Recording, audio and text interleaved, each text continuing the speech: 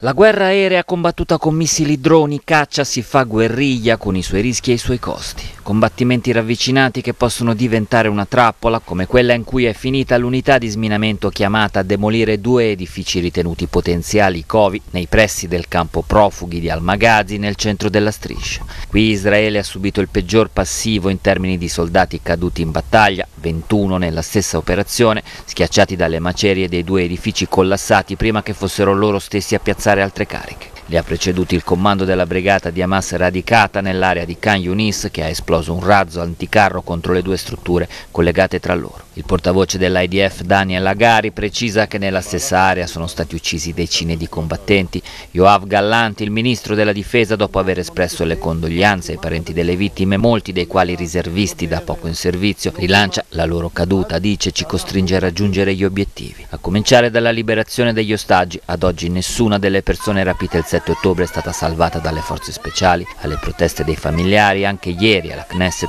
Netanyahu ha risposto evocando un piano ma senza fornire dettagli, salvo ricordare che la guerra non si fermerà. Israele proporrebbe due mesi di tregua in cambio del rilascio di tutti i prigionieri, intanto è sempre più caldo l'altro fronte, quello aperto dai ribelli sciiti Houthi, Stati Uniti e Gran Bretagna hanno sferrato nella notte un nuovo massiccio attacco aereo in Yemen contro decine di postazioni dei ribelli a partire dalla capitale Sana'a, controllata dal 2014 da Houthi, e contro decine di località sul Mar Rosso e affacciate sul Golfo di Aden.